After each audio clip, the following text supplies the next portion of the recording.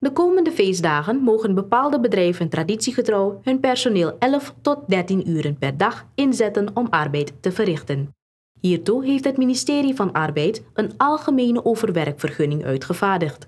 Imro Smit, hoofdvoorlichting van het ministerie, legt uit wat deze overwerkvergunning inhoudt en op welke bedrijven het van toepassing is.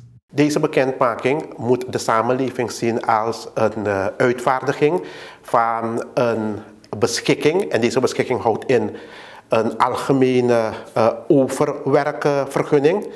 En omdat het in de maand december is, noemen we dat de december algemene overwerkvergunning. En wat houdt deze uh, vergunning in? Kijk, over het algemeen is het zo dat wanneer bedrijven hun personeel langer willen inzetten om te werken, heeft het bedrijf een overwerkvergunning nodig. En die vergunning moet je bij het ministerie van Arbeid aanvragen. Maar in de maand december is het ons bekend dat de behoefte bij bedrijven er is om het personeel langer in te zetten. Maar die behoefte is er ook vanuit die samenleving, want die samenleving wil boodschappen doen. Ja? Dus het zou te veel worden voor arbeidsinspectie om individuele bedrijven over, overwerkvergunning te verstrekken. Dus wat doen we? we? We laten een bekendmaking de deur uitgaan. En dat noemen we dus uitvaardiging van, een, uh, van de december overwerkvergunning. En dat betekent dat bedrijven hun personeel uh, mogen inzetten om langer te werken.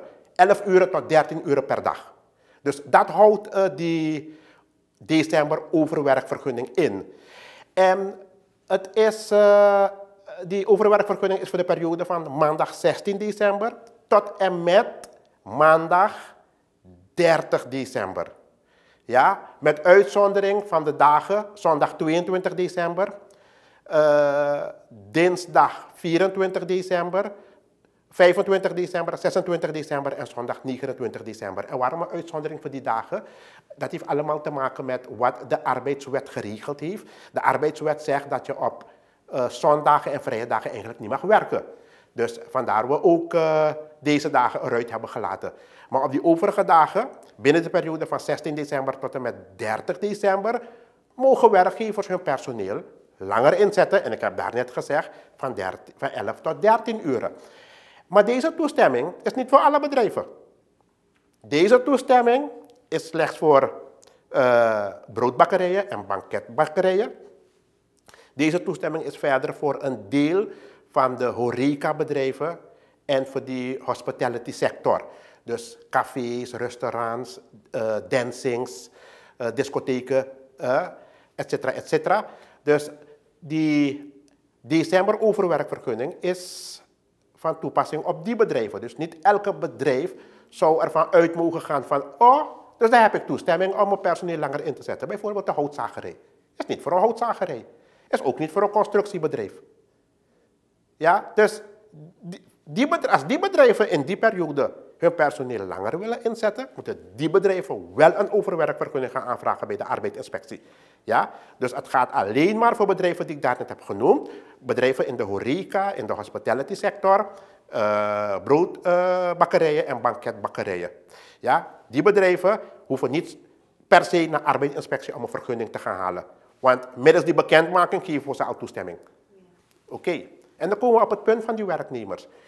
Is het zo dat wanneer die werkgever die bekendmaking ziet, dat hij zegt van oké, okay, ik ga mijn personeel langer inzetten.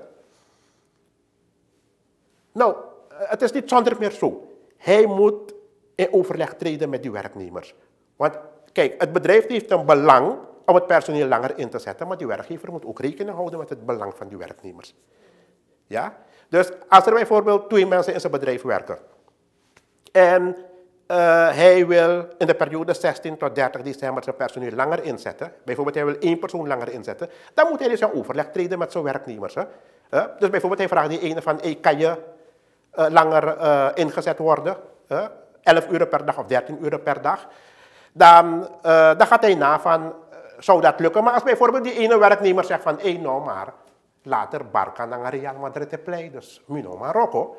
En die andere werknemer zegt bijvoorbeeld van luister, nou kijk, ik zou heel graag willen werken, maar ik heb uh, de oppas sluiten over half uur en ik moet mijn kinderen gaan halen. En ik heb verder geen, uh, uh, zeg maar, geen oppas voor mijn kinderen. Dus het, het, zal mij niet lukken. Dan moet in dat geval, zegt de wetgeving, moet de werkgever goed werkgeverschap toepassen. Dus hij moet dan rekening houden met belangen van die werknemers ook.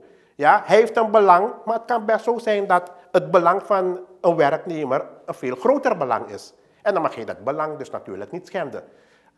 Dus daarom heeft de wet ervoor gezorgd dat er een wetsartikel is opgenomen, goed werkgeverschap. Dus mensen moeten met elkaar gaan praten, met elkaar afstemmen van kan je uh, doorwerken.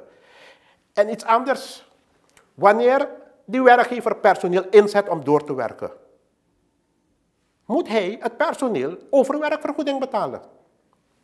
En de overwerkvergoeding is van maandag tot en met zaterdag anderhalf maal het loon. Laat me een voorbeeld geven. Als je per uur 10 SRD verdient. Voorbeeld hoor. Als je per uur 10 SRD en je, je moet overwerken van maandag tot en met zaterdag. Je moet overwerken. Dan zou dat betekenen dat je voor elk uur dat je overwerkt 15 SRD zou moeten krijgen. Op basis van het voorbeeld van net. Hè? Afhankelijk, afhankelijk van hoeveel je per uur verdient. Dat zou je 15 SRD moeten krijgen per overuur. Ja, op basis van het voorbeeld van net nogmaals. En als je op de zondag zou uh, moeten werken en op die nationale feestdagen, dan zegt de wet dat de werkgever het dubbele ervan zou moeten betalen. Dat is dus op basis van het voorbeeld, als je 10 SRD per uur uh, verdient, zou je 20 SRD uh, per uur moeten krijgen. Ja? Dat, dat, zo wordt die overwerkvergoeding berekend. En, uh, maar ik heb daar net uh, gezegd dat in principe die, over, die algemene overwerkvergoeding niet uh, zeg maar van toepassing is op die zondagen en op die nationale feestdagen, heb ik daar net gezegd. Maar als er bedrijven zijn die van mening zijn dat er dringende redenen zijn om over te werken of om hun personeel langer in te zetten, dan moeten ze een vergunning gaan aanvragen bij de arbeidsinspectie.